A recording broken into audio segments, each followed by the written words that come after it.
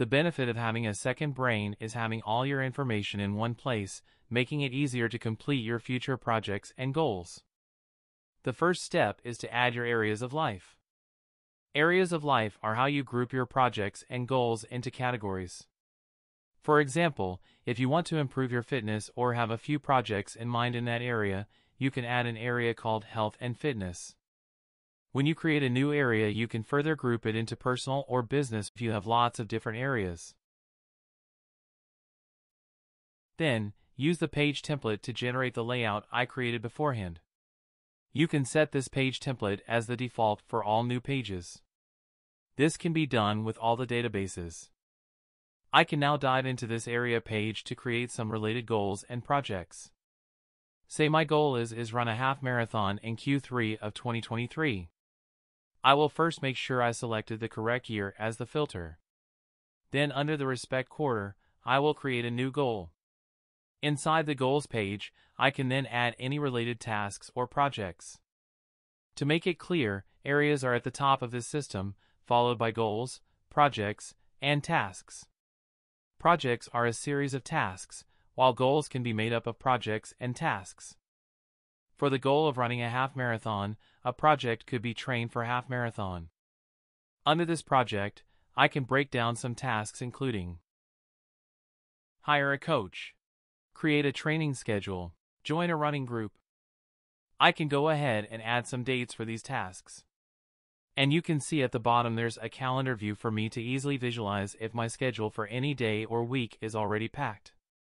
You can also drag and drop to reschedule a task. And going back to the goal page to run a half marathon, I can have individual tasks such as Find a half marathon race in Q3 2023. Register for half marathon race.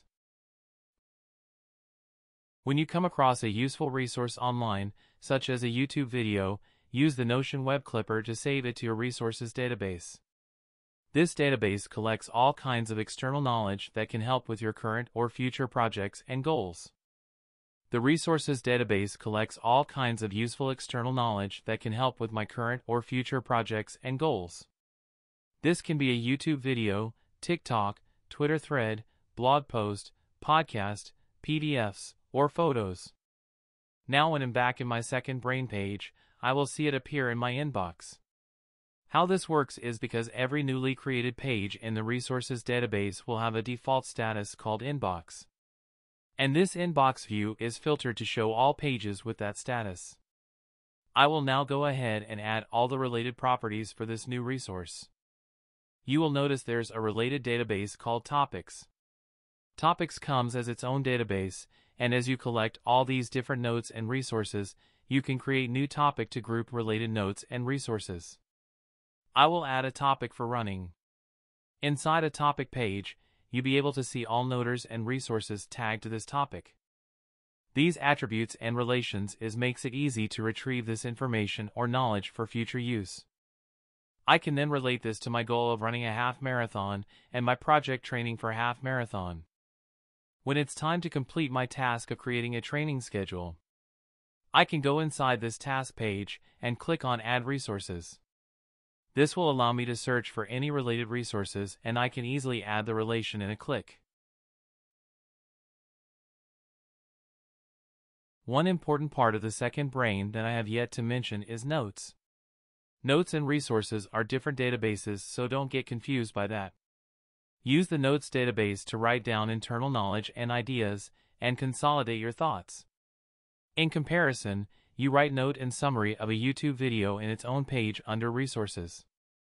But when it comes to consolidating your thoughts, you will do that in the Notes database and link to all its relevant resources. In consideration of my goal to run a half marathon, I can use Notes to plan my training schedule and also a post running routine.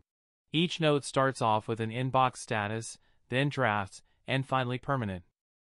Notes in inbox means you have not started writing anything except for having the idea on what to write, while drafts are those notes you're writing in progress. Lastly, permanent notes are those you've finished writing. Notebooks is how you can group related notes together. These notes might not belong to the same areas, goals, projects, or topics but are still related in some way, and that's when notebooks come in to better organize your notes. Fast forward to when I have completed my half marathon, this training schedule may longer be relevant to me. This is when I can send it to the archive page by checking the checkbox called Archive.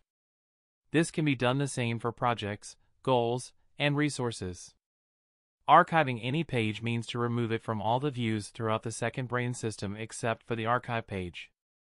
You can archive a page at any point in time whether the project is still in your inbox or already in progress so long as it's no longer relevant to you.